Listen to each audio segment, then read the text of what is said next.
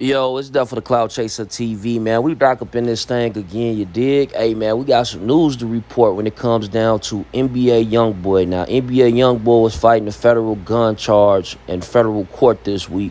Um, and today, the jury came in, man, not guilty.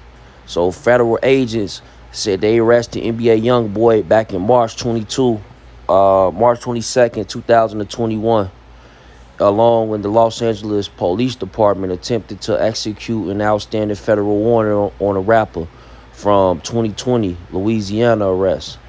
While trying to pull the rapper over in a vehicle, police say NBA Youngboy eluded them before exiting the vehicle, leading them to a foot chase. K9 dogs had brought out in order to locate the rapper. So like I remember this stuff, man. They said that um the police had also discovered a FN a FNX 45 45 ACP caliber gun floorboard under the floorboard in uh YB's Maybach SUV. So this shit is deep, man. Like at the end of the day, NBA Youngboy won, man. He won. So y'all get in the comments and let me know what you think. It's that for the Clout Chaser TV if you're new to the channel. Hit the subscribe button. Share this on Facebook and Twitter. Gang.